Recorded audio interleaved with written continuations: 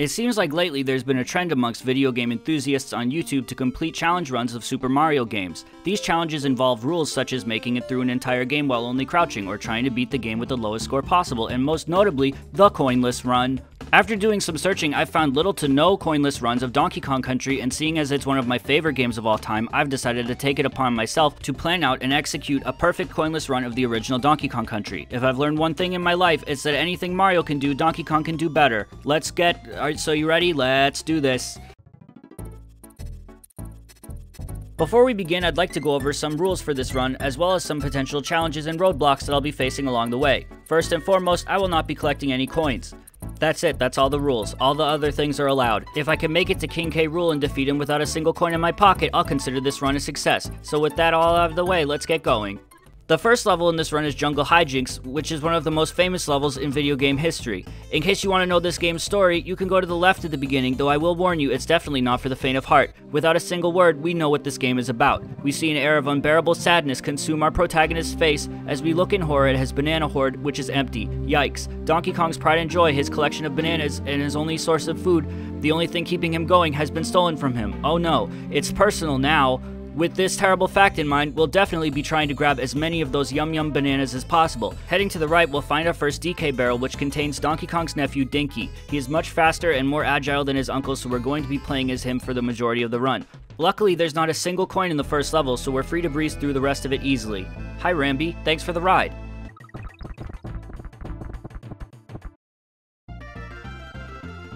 Don't get too comfortable though, because Ropey Rampage is our first major hurdle in the run. Immediately, our Kongs are assaulted by this ruthless armadillo who corners them. He's an incredibly formidable foe, and it took me way too long to figure out how to get by him.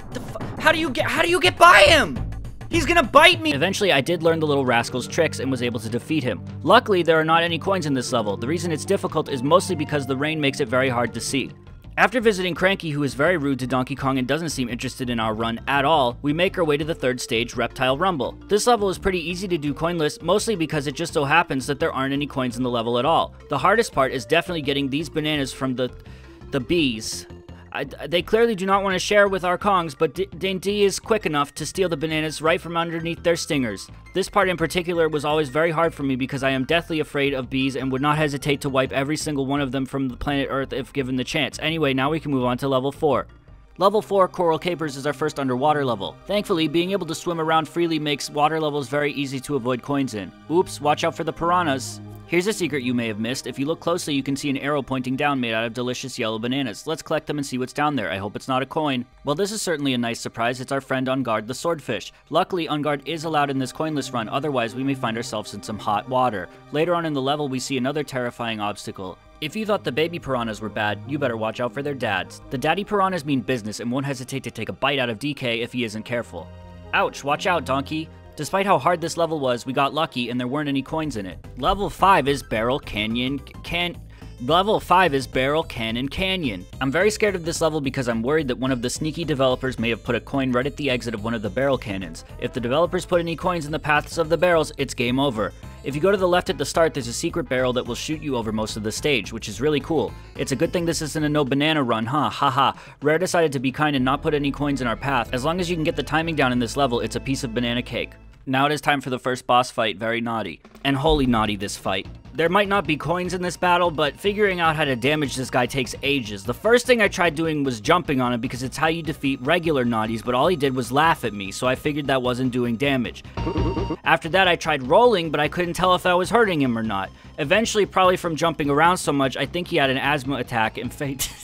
That's World 1 completed, completely coinless, hooray! Level 7 is Winky's Walkway. This level might seem scary at first because it's really dark, but in terms of our coinless run, it's not scary at all because there's actually no coins in the whole level. Our tie-wearing monkey finds a frog here who I assume is Winky. I decide to leave him before exiting the level though because this is his walkway and I don't want to remove him from it. Level 8 is called Minecart Carnage, and with a name like that, I was genuinely terrified to enter this level. Would this be the end of our run? After all we've been through, would Donkey and Diddy finally have to collect a coin here? No, they won't. This first jump is very, very tricky and I missed it, but as it turns out, it was a good thing to miss it because there's a secret down here that lets you skip the whole level. It's not a very good secret because I feel like most players will miss the tricky jump anyway and fall into it by accident like I did, but still, we managed to make it through this level coinless, hooray. Level 9 is called Bouncy Bonanza, and uh-oh, this one's a doozy. While there luckily aren't any coins in this level, which is a welcome break, it's got some very tricky platforming challenges and a lot of these leaping lizards to watch out for. Otherwise, it's a pretty basic level with some neat puzzles. I hope that you have fun with it. The next level is Stop and Go Station, and hold on to your pants because it's the scariest level yet. Right at the start, there are these horrible boys who run very quickly back and forth to try and grab our monkeys. If you jump up and touch the go barrel, it makes them stop, which I don't quite understand.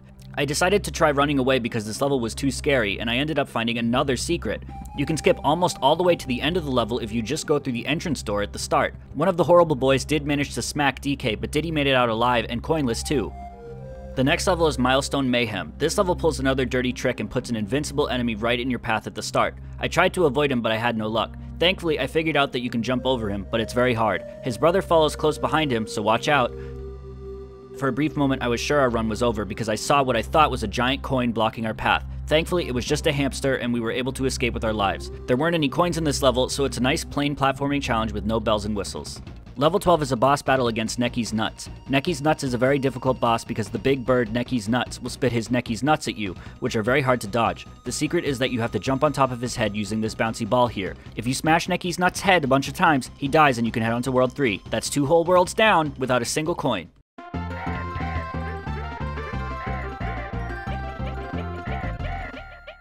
Next up is level 13, and you know what they say about 13? Bad luck. Vulture Culture is our first level in World 3, and you'd think that it would be the toughest one yet, but it's actually surprisingly simple. There aren't even any coins, which certainly doesn't seem unlucky for us in our run. Just jump on all of the baby Necky's nutses, and you shouldn't have any problem beating this level coinless. Treetop Town is level 14, and we've got another potentially run-ending level. There are a lot of barrels here, and as we've learned by this point, barrels are the scariest part of a coinless Donkey Kong Country run except for the bees, which are always scarier.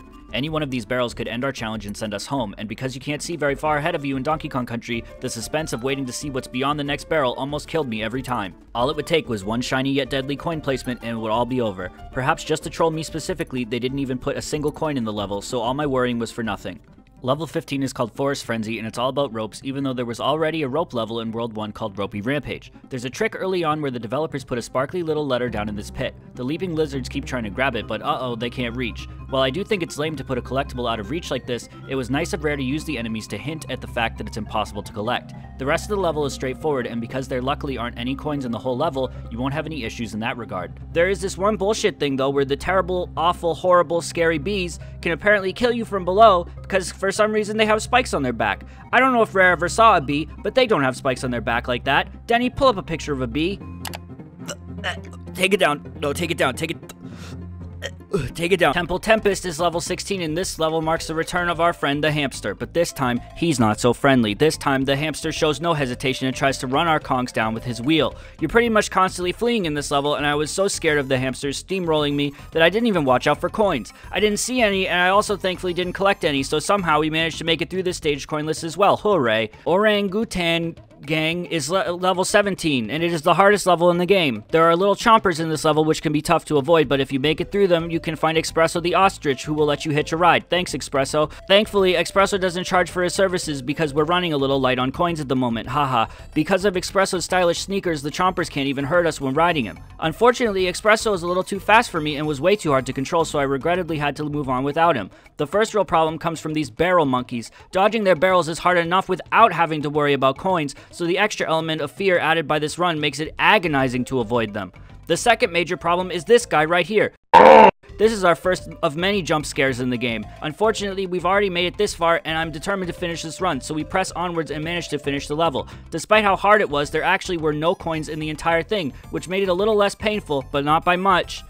Level 18 is our second water level, and it is called Clam City. Despite the name, there are actually more piranhas here than there are clams, and there isn't even a city, so great job with the name here, guys. I had a lot of problems avoiding some enemies here, but it was all worth it in the end. In the second half of the level, if you've got a keen eye and a bit of luck, you'll spot this rare frog token. It's guarded by one of the clams, and if you manage to avoid him, you can grab yourself one of these rare items. And before you say anything, I did check with the DKC speedrunning community, and frog tokens do not count as coins. There aren't any normal coins in the level to avoid, so this level was easy. Level 19 is another boss, being Bumble Rumble. I've never gotten this far before, but we can't stop now. Our quest to complete DKC coinless can- No, no, no, no, no, no, no. No, I'm not doing a B level. I'm not doing it. I'm not doing it! Unfortunately, despite our best efforts, it appears that the original Donkey Kong Country is not beatable coinless. Donkey and Diddy braved every single challenge that came their way. They made it through the perilous rope swinging storm, they navigated vast underwater caverns, and they jumped over the evil monkey barrels in Orangutan Gang. They marched forward no matter how hard things got, and they refused to collect a single coin along the way. But painfully, we were not able to see the rest of the coinless run. It's simply impossible to get past World 3. There was a coin during the World 3 boss that was unavoidable, and what really sucks is that I lost the footage of it. It's impossible to beat Donkey Kong Country for the Super Nintendo coinless. I'm sorry.